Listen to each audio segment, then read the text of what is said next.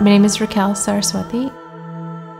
I am an activist and I write about the abuses of women in the Muslim world and, and worldwide. I'm Nazie Eftekhari. A lot of the human rights work I do is, I think, in reaction to literally, you know, waking up in the morning and taking these events around the world very personally.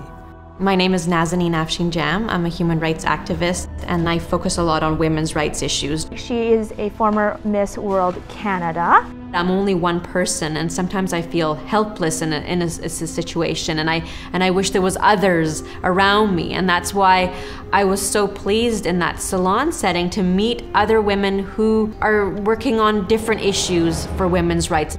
I'm Fahima Hashim from Sudan and I live there.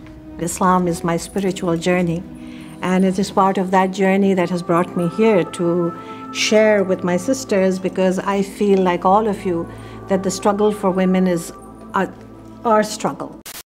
Saudi women aren't allowed to drive themselves to work or even to the doctor's office. The atrocities and the disadvantages perpetrated on women in the name of Islam are real and they're manifold. Serious sexual harassment and attacks on women in Egypt. Groping, stripping, and rapes have become increasingly frequent. Mutilation of the body, acid violence.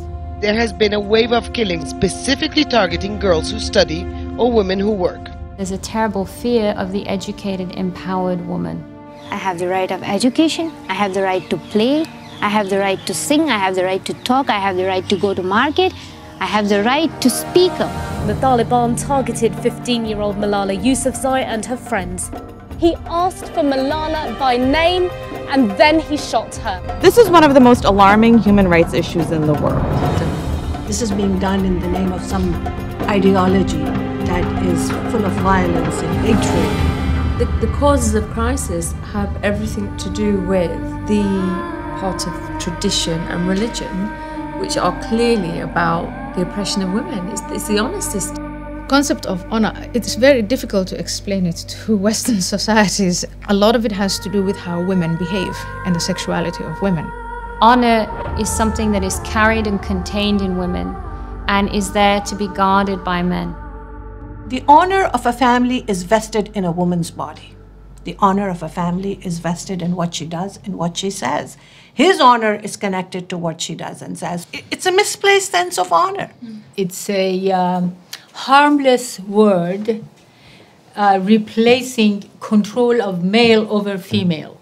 For me and for the girls and boys, because we support boys too, when they give voice to honor, they describe it as being like the weather.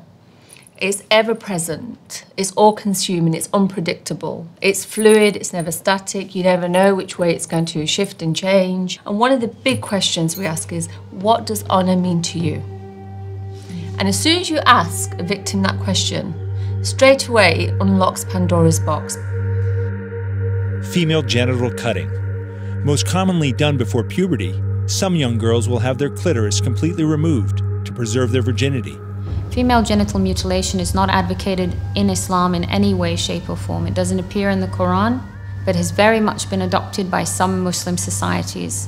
My cousins were just going for circumcision the next day, so everybody was preparing food and they're making big uh, event. So I was in my uncle's house, so I, I went, I had small booklets on how harmful circumcision is, and I sneaked up to his room and I gave him the books. Mm. And I told him, don't do that. You know what happened? He came, because his eldest daughter was circumcised. He came crying and he really asked his daughter to, to, to forgive him and he refused for the, the other two to be circumcised the next day. When we're talking about the root cause of addressing gender disparity and empowering women, we do have to look at child marriages.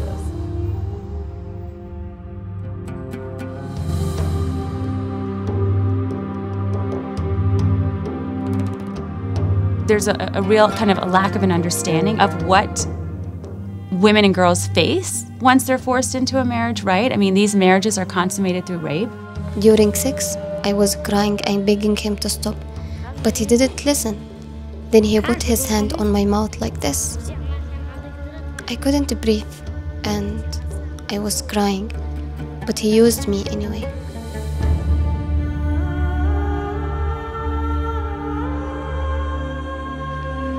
My sister suffered a horrific marriage. She was a 15 year old in school that went missing from education, as they still do today, and nobody noticed her missing. And she was gone for nine months and came back as somebody's wife. You know, she missed so much school that she was put back into my year at school. She had a wedding ring on her finger. Um, she spoke English. She just in the middle of her GCSEs, and she never wore Western dress again. And nobody stopped to ask the question why. And I reflect upon that when she died, um, because she set herself on fire and died, and that's the last picture I remember her looking like that at me. A mother and father accused of dousing their teenage daughter in acid. Her crime looking at a boy. She turned to look at him. I told her before not to do that. I started beating her. Then her mother brought the acid. It was her destiny to die this way. I don't think people are aware of just how prevalent it is and that it is happening in the United States, that it's increasing here, and that it's not such a fluke when it does happen. Her parents beat her after seeing her with a boy. Police are saying the teen was abused because she didn't want to go through with an arranged marriage. Georgia police say he strangled his daughter to protect his family's honor. Muzammil Hassan is accused of beheading his wife after she filed for divorce. And allegedly run down by her own father for becoming too westernized. There was a case in Texas of Sarah and Amina Said who were murdered by their father, but what we found out afterward is that they had been regularly abused, they had been sexually abused, that they went to school with bruises, um, and normally a teacher and, or counselor has the responsibility to report that to the state and the child should be removed from the home. But these girls went to school every day with obvious signs of abuse. That I have to say is a practice that is happening all the time up and down the UK, where girls are presenting not believed or people thinking, don't lift up the Right, hijab, yeah, don't to check the bruises. And she's actually saying, I told them the bruises were there, but they wanted to be careful. We shy away from criticizing anything that's different um, because we don't want to be seen as the type of people who would restrict people's expression. You know, and I, and I think that that's very, very well motivated. Why is it that everybody is afraid to say that Muslim women are deprived of their humanity? because people are, you know, slapped with these labels of, of being an Islamophobe, and people don't want to speak out. And when you do dissent, you are threatened, you are bullied, you are intimidated, and, and that's happening here in the United States. My mother, when I started the organization, the first thing out of her mouth, she said, You're gonna get killed. I've had fatwas, I've had death threats, I get hate mail. The threats to rape you, burn your face with acid. I'm afraid all the time. Um, but that doesn't mean you can't also be courageous. It's very, very easy to break a, a twig or a stick. But when you bundle them together, you can't break that. By us coming together, showing a united front, I'm sure we can defeat this.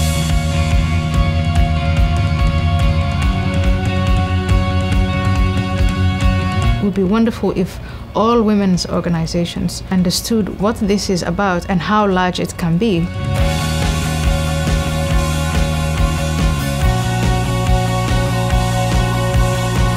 The continuation of this dialogue is in need to make the realization of the importance of women's voices with the support of men and women, of other faiths, of other cultures, other communities, because without them we cannot make a change.